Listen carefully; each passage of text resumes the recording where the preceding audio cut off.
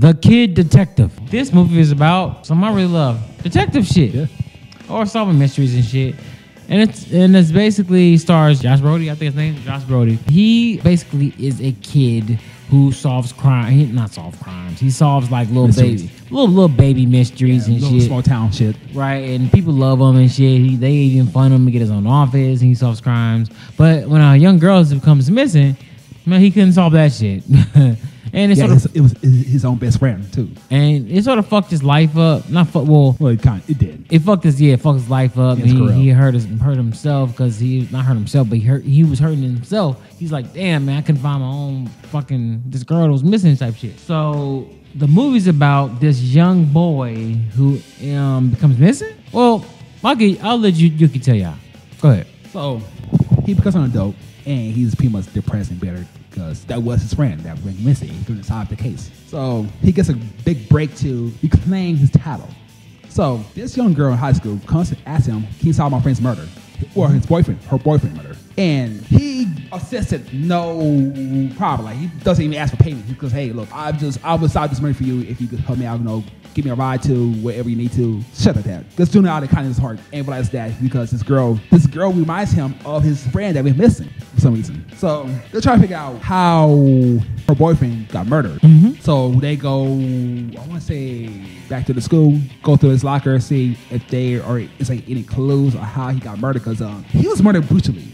He got stabbed 17 times and his body got dumped in the river. And they thinking uh, it could have been a drug deal gone wrong or he got involved in like uh, some satanic cult and he was a sacrifice. So they pretty much try to find anything about him that could link his death to like you know occult stuff or you know even if he could commit suicide, which I mean, um, why would he stab himself? 17 Yeah, that's the funniest part when um they like, yeah, he's Asian. Like, Asian boy? Asian boy? Jesus Christ, okay. Asian boy we going rocking, okay. Rock and rolling, nigga. Yeah, yeah. Little Asian boy, actually, he was kind of a player because Yeah. Um, when they were interrogating his homeboy, he was like, yeah, he had a he, he was also He, he had two, right? He's getting, He right. could get his dick sucked by another girl. he was taking pictures with it too. Yeah. He had a picture of the girl in his locker. Mm. They go to the locker, find this fucking drug that makes you. It's like the more depressed you are, you take this drug, it's gonna.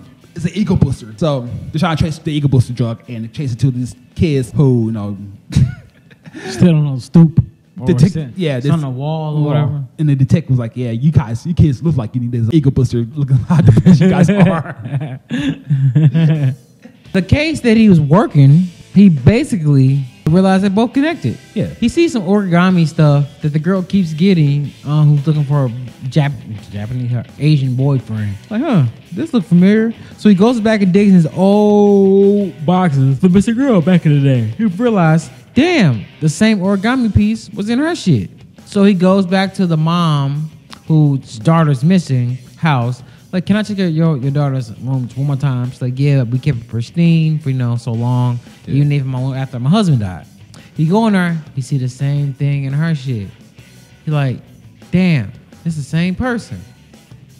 So he's like, damn, who could do that? And he realized it was the principal. The principal had to do it because of things he kept saying.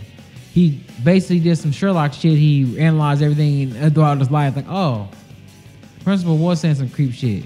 like why kids don't respect authority, Uh huh. or talk about how youth is fleeting, and you know Mm-hmm. how the youth don't, how the youth foster innocence. Mm-hmm. That's creepy shit. Yeah, cold shit. Yeah, and shit, I forgot to bring this thing up. It has kind of relates to the spoiler. So Go ahead. one of the kid detective big case was finding the mystery of the stolen cash box. Mm-hmm.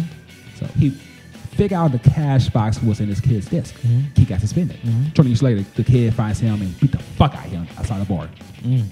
Thinking he still had a grudge by, you know, getting suspended. Come to find out,